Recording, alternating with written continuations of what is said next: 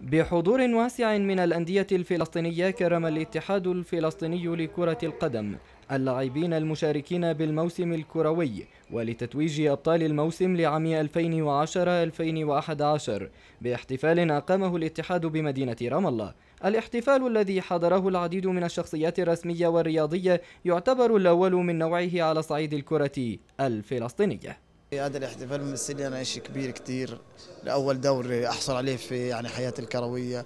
وطبعا هذا الدوري يعني حيكون دائما في الذاكرة مش أكيد مش راح أنساه. طبعا إحنا بنشعر بالفخر إنه إحنا موجودين في احتفال كبير زي هذا آه، بين كبار الشخصيات الرياضية والناس المهتمة للرياضة الفلسطينية بشكل عام وحتى للرياضة النسوية كمان. اللاعبون المشاركون بدور المحترفين أظهروا سعادتهم لما حصدوه من إنجازات للكرة الفلسطينية هذا العام إلا أن الكثير من المشاكل وبالأخص المالية منها ما زالت تخيم على أفكار الكثيرين. هداف المنتخب الوطني والهلال المقدسي أكد لنا أن هذه المشاكل بطريقها إلى الحل. المشاكل المالية يعني مش كتير آه، مهمة بالنسبة لنا يعني. المشاكل آه، بتنحل المشاكل ويعني أنا حسب رأيي انحلت المشاكل المالية.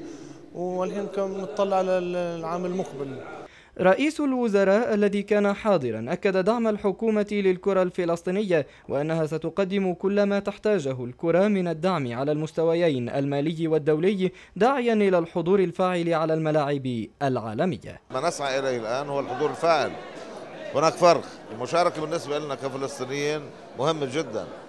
وأن يشارك لاعبونا وأنديتنا ومنتخباتنا في مباريات دولية خاصة هنا في الوطن ولكن أيضا في الخارج فيها رفع العمل لعالم فلسطين وفيها بكل تأكيد دعم لقضيتنا ولنضال شعبنا ولسعيه في الحصول على الحرية والاستقلال. الاتحاد الفلسطيني لكرة القدم الذي أشرف على الاحتفال أعلن أن مركز الأمعري حصد لقب البطل وهلال القدس على الوصيف والمثالي حصده مركز طول كرم. أما كأس المحترفين فقد فاز به هلال القدس وفي المرتبة الثانية جاء غزلان الظاهرية وعلى صعيد الكرة النسوية فقد حصد ديار بيت لحم لقب البطل وجاءت سرية رام الله في المرتبة الثانية.